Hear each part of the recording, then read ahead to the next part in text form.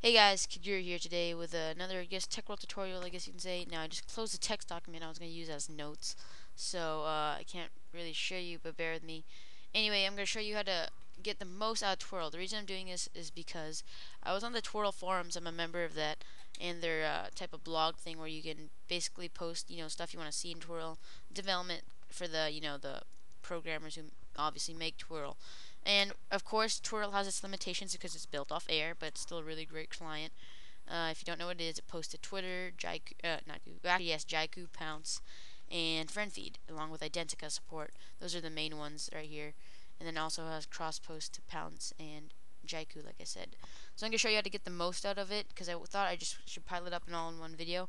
And one pretty big how-to, and that's how to get a custom skin. Now, this is pretty easy um, custom theme, I should say, for Twhirl. Now you can already go into open accounts and go into colors and pick your theme for Twhirl, but I'm going to show you how to make your own. Now my own is already in there. It's sleek black. Now I'm going to show you how to do that. It's really, really easy.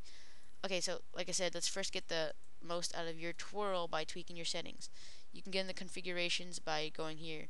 Now, some of you have an error, which I used to have, is when Twhirl wouldn't let you, let's say, uh, save your password or username it wouldn't let you post on Twhirl because it was just giving you this bug. And that was all on the release of 0.84.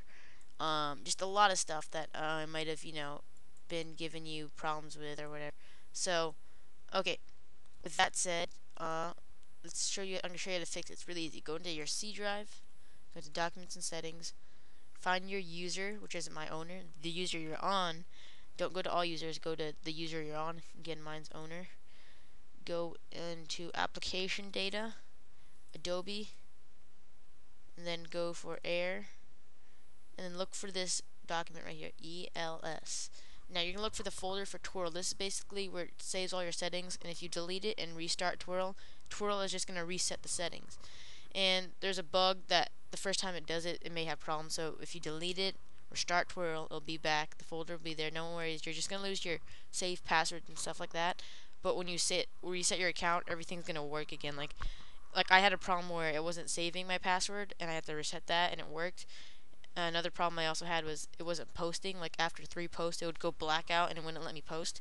And that was a bug. Um, that's how you fix it. So Mac OS 10 or Vista, it may be located in a different place, but still gonna be in your ELS folder. So maybe you want to search ELS under Twhirl or whatever.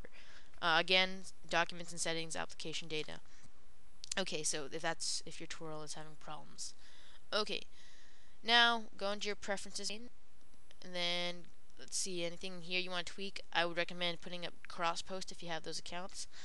You can tweak these if you want. Visually, I take prefix tweets with sender's name off because that's basically if you can see in this little white area right here, it's kind of grayed out, I know, but if you look right there, there's a little part that'll add a name in sometimes, and if you take that off, it'll take the name away and just give more space for tweeting, I guess.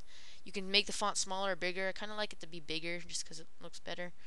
Uh, I set it at 12. I think by default it's 10. Change your font. And actually, I haven't done that, which I should do. I'm going to change it to Calibri because that's the one my uh, theme is using. And it'll, I think it has to do it when your thing sets uh, twhirl. So, so visually, you can fix it. I would also recommend putting opacity at 100, even if it's uh, you know inactive always that way if you can read it if you're not you know using it notify you can mess with that. Twitter API now the Twitter API by default only allows 100 requests per hour meaning you can do all the stuff only 100 times by their API limit. So I would recommend setting that to the highest. It doesn't go to all the way to 100 it goes to 80 follow reduced API limits uh, set these to whatever you like. I set mine to one minute because I want my tweets the fastest. My replies are kind of out and my direct messages are kind of out. Now the reason they're out is because uh, I want to get my tweets obviously faster because the the closer you move this, the farther they will go. It's like a slider type thing. But this is a thing that uh, it's pretty handy now. If you're following somebody, you're gonna get the reply because you're following them. That's considered a tweet. So what's the point of having your replies close up if you know you know, why? What's the point of having your replies so early if you're already following them? Your tweets is going to get it in the first place. So your tweets is the main thing. The only thing that replies will come in handy for is if you're following, if somebody's following you and you're not following them, and they send you a message or over reply, you're not going to get it until seven minutes or however you said it. I just like it because this way, tweets, if it's far up there and the people you're following who are usually replying to you obviously are you're still going to get them even if it's considered a tweet overall direct messages uh, usually Twitter I don't really use it for direct messaging I guess sometimes I do so I set that pretty far off too. Okay so I've gone over all of that. Now let's go over how to make your own custom theme. It's really simple. Okay so head over to your C drive under my computer. Go over to program files find twhirl and which is right here.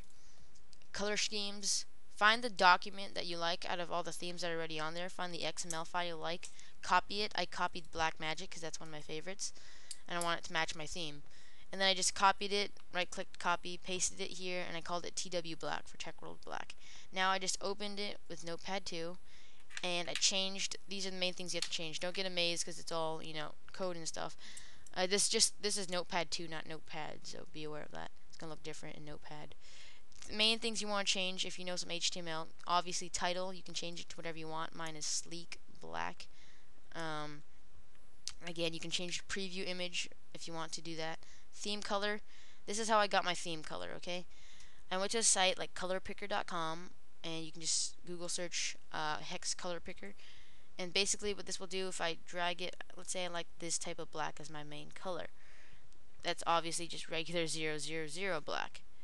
Now I want mine to be a little lighter and has a live updater so that looks pretty decent so what I'm going to do is I'm going to take this number 1A, 1A, 1A, whatever that's the hex of the number I'm going to take this number that's already in here, the theme color, and paste, paste it in. I like the theme text color to be maybe a kind of nice shade of, you know, white, I guess. I'll say like somewhere around there. That's fine. And it shows you a preview image of the text as well. And it's going to stand out, obviously, it's going to stand out pretty nice because, you know, you can move the slider on if you want to. It's going to stand out nice because of it being obviously a what do you call it the black against the black background and I'm just going to copy that all and just cut off the number part. I even think you have to but okay so I'm going to take the text color. I don't I'm not going to go too in detail. I'm going to finish this up later on my own but so those are the main things. You can change whatever else you want and then go to file save as save it wherever it is I'm to replace it. And then exit that minimize this and I'm gonna go in over here open accounts colors black magic and it should be in this drop down menu. Sleek black and change color exit twhirl no no no not exit twhirl sorry. Save and there you go. That new theme of black is in twhirl along with my changed font and everything else looks pretty nice don't you think okay so yeah anyway I'm gonna go tweak this up a little bit more to my liking, but that's basically how you make your own custom theme. It looks really nice, guys. Okay, guys, so that's all for today. That's all I want to talk about Twhirl. It's a really great app. Really it and try it out. Anyway, guys, thanks for listening to this tutorial. Uh, don't forget to check out the website at adrianstech.com and email me at adrianstech at gmail.com. Thanks for listening.